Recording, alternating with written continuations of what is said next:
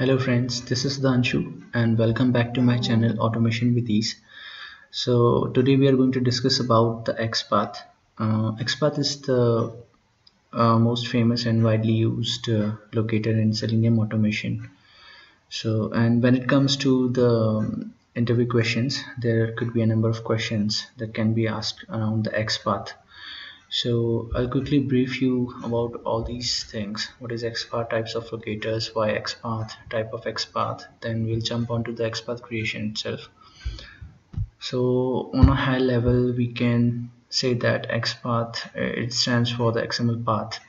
So we just create an XPath expression to locate a particular element on a document object model right then we have the types of locators id class name name link text css path. But as i said xpath is the most famous and uh, you know it's very important how the construction how we can how construct how we construct the xpath so that we are going to cover today. Uh, on a high level xpath is categorized into uh, two like there are two types of uh, XPath you can say. The first one is absolute and the second one is relative. So to explain this I'll show you like if you remember this site that in from my first session I have been using this. Okay so let's say if I want to locate a particular uh, element like this okay the, the prerequisite I would say is you should have this as I explained you earlier as if you search on Google ChroPath this is a prerequisite that you should have if you're using the browser uh, as Chrome. You need to have this. Okay you as soon as you add it uh, you click on this add it to Chrome it will be added in your Chrome as extension and as soon as you restart your browser. This icon you can see here right? Okay. In my case it's already there. So I'll close this. And let's say if I inspect this element. Okay. This mode will open and you will see the ChroPath over here. Click on this. Okay I want to look at this one. So I'll show you like in the absolute path is something which starts from the beginning of the HTML uh, of, uh, on DOM and it, it is represented by the single slash okay? Because it navigates one by one to each node from root. And the relative xpath is something uh, it it can start from the middle of the uh, DOM and uh, it is represented by double slash okay so the main difference is uh, that it starts from the beginning and it starts from the middle. It may start from the middle you can see and it is represented with a single slash and it is represented with a double slash. Okay. so as as you can see here if I'm going to inspect this element over here so what XPath uh, am I getting? This okay selector relative XPath see if if this is relative XPath it is giving me double slash. If it is absolute XPath it is giving me the complete form of this right? Which means it is starting from this HTML itself if you have observed right? Control set and there is a single slash. Till we reach the particular node like input 1 which is this okay. Now even the relative XPath sometimes we can create it uh, in different ways. So I'll show you in how many ways we can create this particular XPath okay. So let's forget about what the ChroPath is giving you and just try to understand how how we traverse in the HTML over the DOM. So if we start from this this you can say is we are starting from the mid of the DOM right? What all things we have? We have div we have form we have uli li div then input right? Because sometimes what happens we want to make it unique and if it starts from the middle it can uh, it can take you to it can give you uh, more than one like more than one uh, results more than one locate uh, elements which is being located by this XPath okay? So just to make it unique we want to traverse a bit precise okay? So let's say this is div. Within div we have form not this one. We have form then we have ul then we have li then we have again div okay. See uh, uh, observe that I am putting double slash because we are creating a relative XPath we always uh, it's preferable that we always create the relative XPath now let's see how many nodes it's giving. It's it is giving me 15 uh, matching nodes. Okay. But I have to create I have to find this one here the first name. Okay. So in input if I see this is the XML you can say expression that I'm creating here. Okay. So as you can see input the text that, that I want is it's but it is not text okay? Let's try with text first but I'm I'm guessing that it will not give me the via text. It may or may not give it's not giving me because it's not text. I want to locate it via name okay at the rate name equals to first name. See now it is giving me this particular element which means this is you can say the first form of uh, like we have created the XPath uh, this script I'm going to use because it is the simplest one that we created in our first session if you go by by, by my first session you'll find this script over there like first and second selenium basics uh, session. So you will find this code over there right? So I'm going to use it today because it is simplest one. Now uh, how I can create it otherwise like uh, uh, what else I can use here? So let's say I want to use contains over here okay? Contains is another concept within uh, XPath. So let's say in input contains okay double bracket. And then you have to give the attribute. Attribute is I'm using is name okay? Comma single quotes. The attribute is first name. See if it is giving me. Yes. The first one right? Which means this is another you can say from and this is another XML expression that I have got the XPath for the same element this. Okay. Let's find out some more. Let's say if I want to look at this demo over here inspect it I think it's the simplest one. But uh, li not in li it is within ul so and then for the div div ul yes giving me one node see if I remove this over here. How many nodes does it give? It is giving me 25 matching nodes right? And I want to find this one demo. As soon as I change this let's say I give it as services. It will find services. If you want to let's say click on each of these or find what is the text written over here you can you can construct this and parameterize this particular uh, in a variable and then you know you can pass it via a method.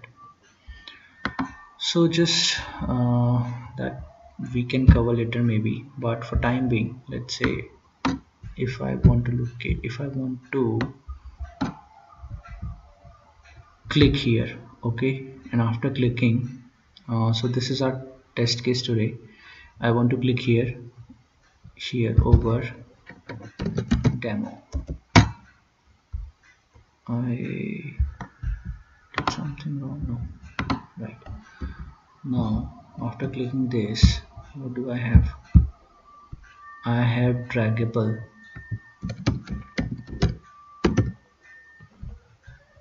Where am I writing? Draggable. Yeah it is finding it right if I branches as steps yes. Okay so this is let's take this one instead okay. Let's take this as our example okay. So the browser that I want to open is this one. Click method. I want to click over here once I click over here. What else? I'll simply create another method let's say I want to uh, get the text of these these three things. Like after clicking here I'll get two more elements okay? And I want to assert these. That demo is there and then within demo I have draggable and tabs okay so what I will do I'll quickly create a method. Let's say copy this one. Mm, here and name it to get text. Get and assert text. Okay value and locator both will be coming. So which is fine because by this locator I'm going to find this. Here I'm going to make some changes. Let's say I want to store I have stored it in a web element. I want to assert this. So what I will do I will take it in a string ele dot. This is another uh, selenium method where you can get the text of this element. So whatever the element that I'm going to find I can get text it via this and I will store it in value. Now I want to assert it. See if we go by the actual assertion uh, in testng there's a wide variety of assertions but here I'm just going to handle it via a Java code okay? So I will put if condition if this else something like if it passes then fine if it fails then quit the program because I don't want to execute as soon as the, my script fails right? So in if condition what I want to do is value dot contents equal I think should work. Contents equal what? What I'm going to send in this value which means I'm going to send demo then draggable and then tabs okay? So in this well whatever comes like one by one I will call this method and I will assert it okay? This is done. What I want to do is I'll say if it is if this condition satisfies says assertion completed. Successfully for for um, val or value instead okay. We can put another system dot out here saying the value on DOM is so basically we want to understand whether we have found the correct value or not from this particular element okay so value. Now if it fails let's say if it's not able to find this. What I want to do is I want to quit. I don't want my program to execute further because it has failed a particular step. And we're not doing soft assertion here. We basically want our execution to be terminated. See this is this is on a very ground level. Like wherein we are running a basic and understanding the XPath concept itself. So I think it suffice for now.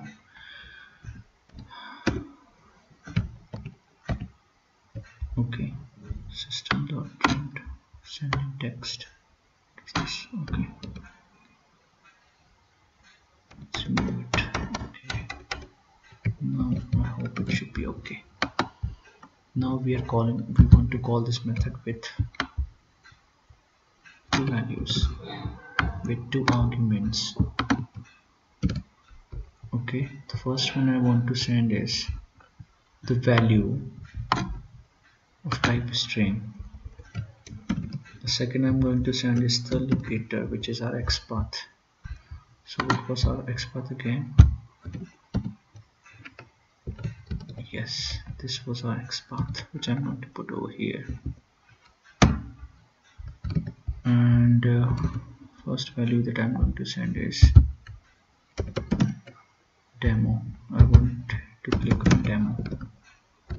Sorry.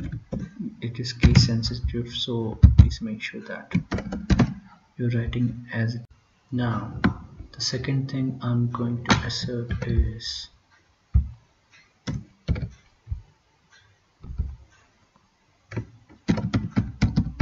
draggable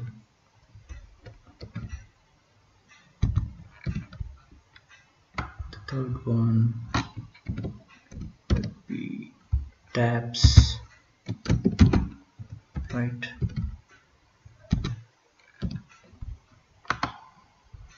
Second and third.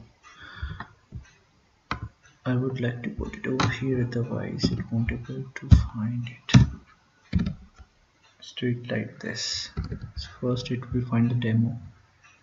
Then it is going to click on this then this and then this. Right. Let's execute this quickly.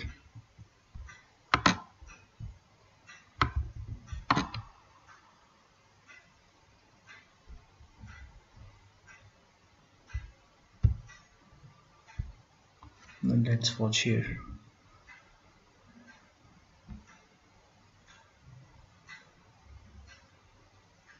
Session completed for demo right. The value on DOM is draggable session completed successfully for draggable session completed successfully for tabs. And it has closed the browser as well. Let's say if I